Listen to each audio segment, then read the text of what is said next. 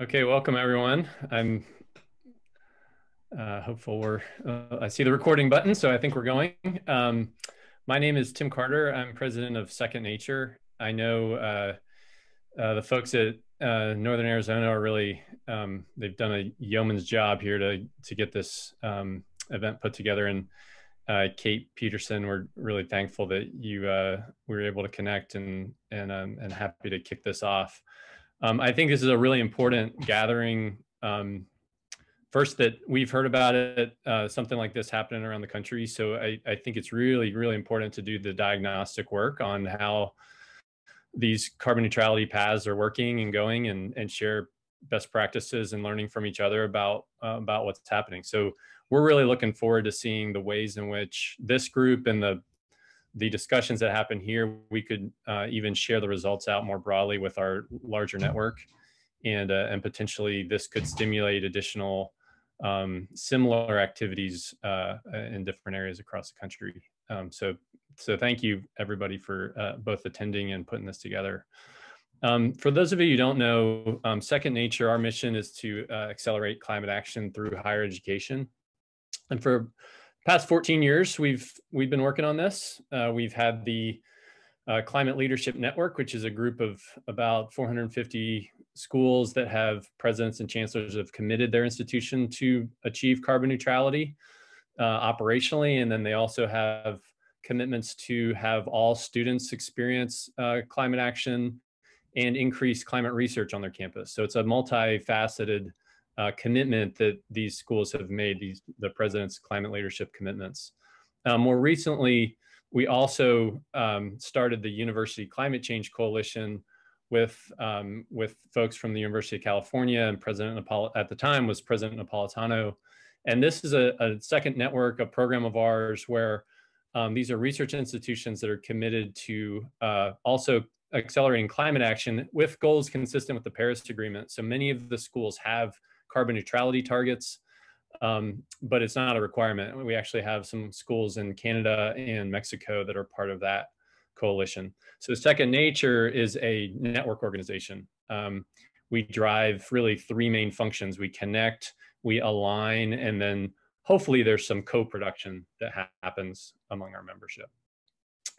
So I know this conference is, or this, you know, this convening is really about net zero campuses or carbon neutral campuses and the journey that y'all are on. Um, so I, I, just wanted to make two really quick points to uh, kind of maybe set a little bit of the stage.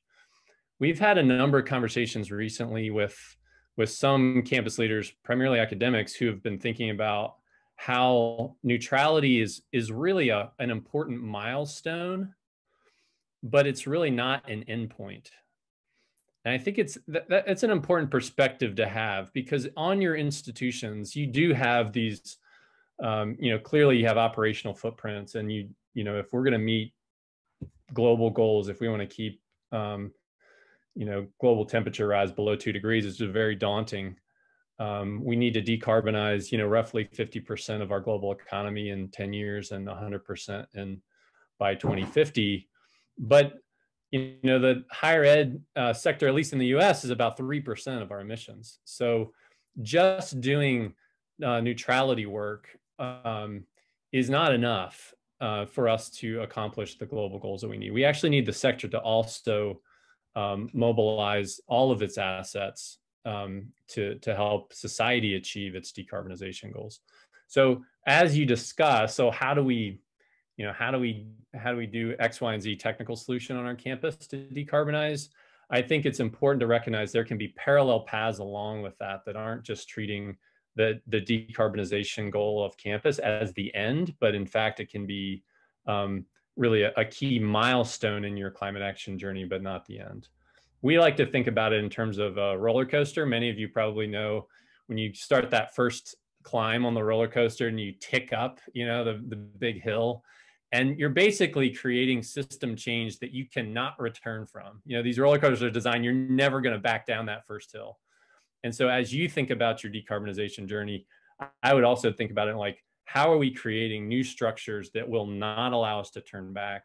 And then if we reach a, a target like a, a zero carbon or a you know even a carbon positive uh, target how, how do we use that momentum to accomplish other things?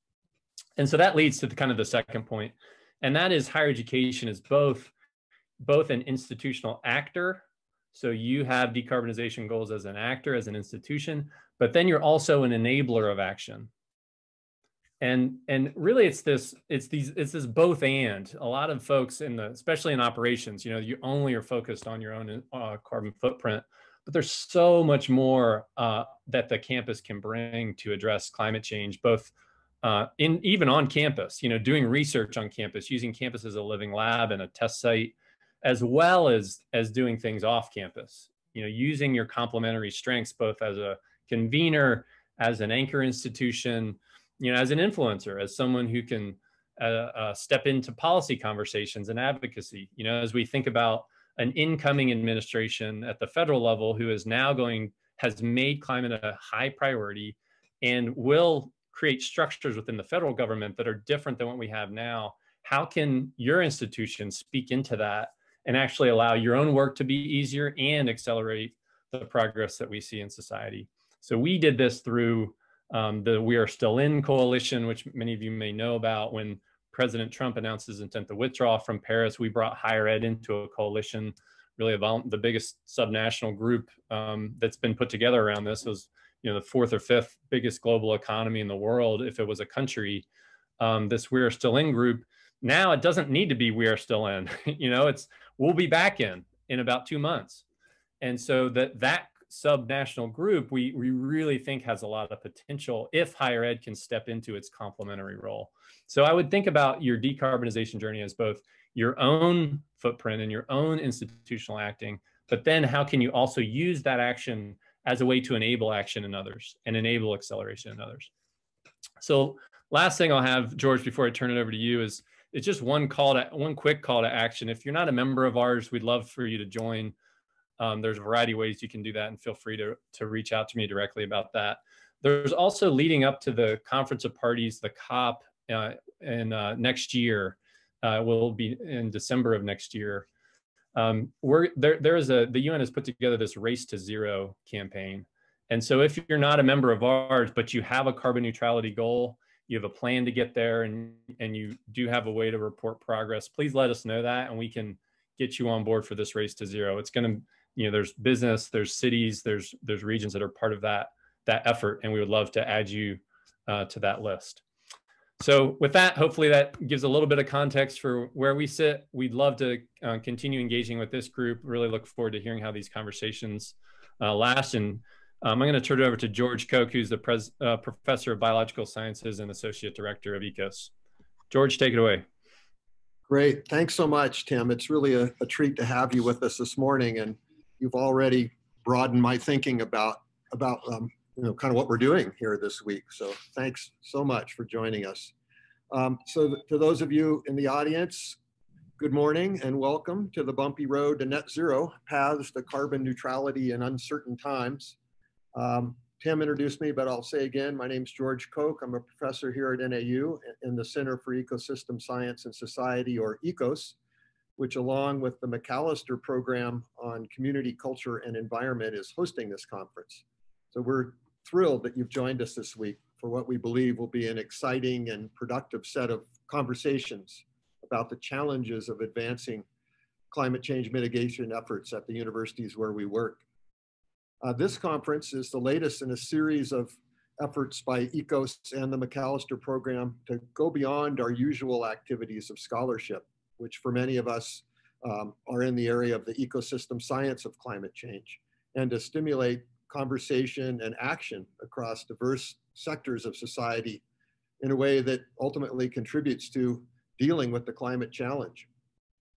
Um, before saying any more, I want to be sure to thank several key groups and individuals who've made this conference happen. Uh, NAU's Office of Sustainability and the City of Flagstaff Sustainability's program are, are vital allies in NAU's climate action planning process and really important collaborators on this event.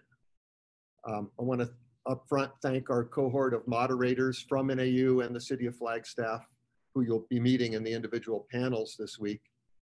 Uh, ECOS grad student Taylor Sheriff was instrumental in gathering and sifting information about climate mitigation activities at universities around the country.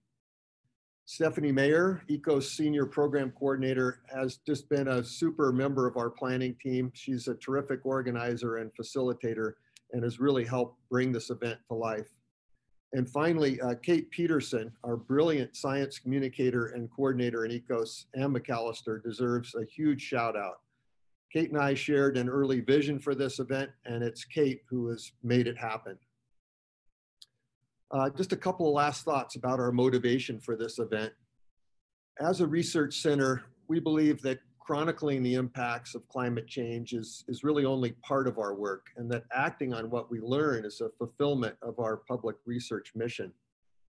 And we know that climate actions are most just and effective when they're made in community and attend to the experiences and needs of those most affected by climate change. We also know that higher education can be a catalyst for these actions. And as community and economic leaders entrusted to train and guide next generations, we really do, we really must lead. Last thing, just to bring things back to this very day, um, this afternoon I'll give the last lecture of the semester in the undergrad ecology class I teach. Appropriately, the topic is global climate change, and I'll be rushing over the scientific basis, the impacts to human and natural systems, and the potential for mitigation. And I, I, really hope that when I next teach this class, in part as a result of our work this week, the students in that future class will be inspired to learn how their university and others are taking aggressive, committed, and meaningful action to address the climate challenge that they'll be living with throughout this century. So thank you again for joining us. And uh, I'll turn things over to Stephanie Mayer, who will uh, kick off our first panel. Thank you.